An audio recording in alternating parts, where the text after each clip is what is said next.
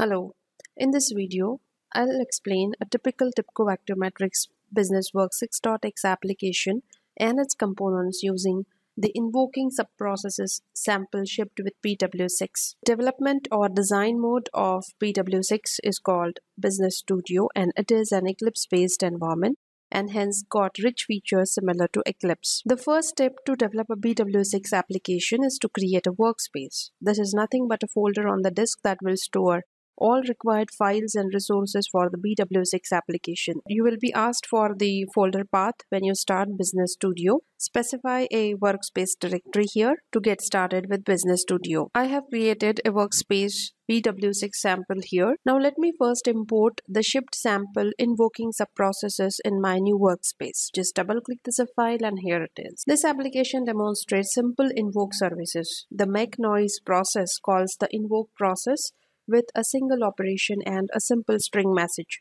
The invoke process in turn calls the log process. Invoke process simply returns input string as output and log process does not accept any input and does not return anything. It simply logs a message. A typical BW6 workspace can have multiple BW applications. That means I can import multiple samples into the same workspace. However, I would not do so right now for the sake of keeping it simple. As you can see, this application consists of one application call process and invoke and an application module. An application module is a subset of the BW application and contains processes as required.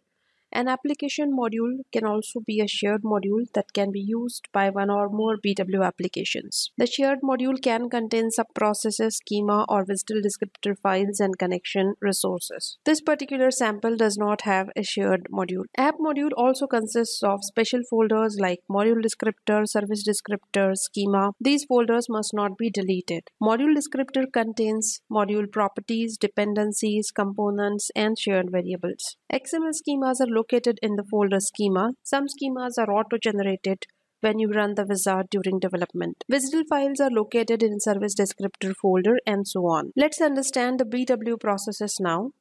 BW process or subprocess actually implement the business logic using various activities. Activities are individual units of work in a process. This application has got three BW processes. Let us see one by one. Make noise.bwp. It has a process starter activity timer. Open the properties of timer activity and you can see it is configured to run every 3 seconds for 10 occurrences. Connecting lines between activities are called as transitions. Transitions are used to connect two activities to represent the flow of process execution from one activity to other. This process is invoking a service and then writing the output using log activity and write file activity. Open the input tab of call process activity. You can see that uh, the current time is passed as input to this activity. Similarly, observe that output from call process is mapped as input to the log file and write file. Now double click the call process activity. This opens up invoke.bwp, the process which is getting called when this activity is executed. It has a receiver activity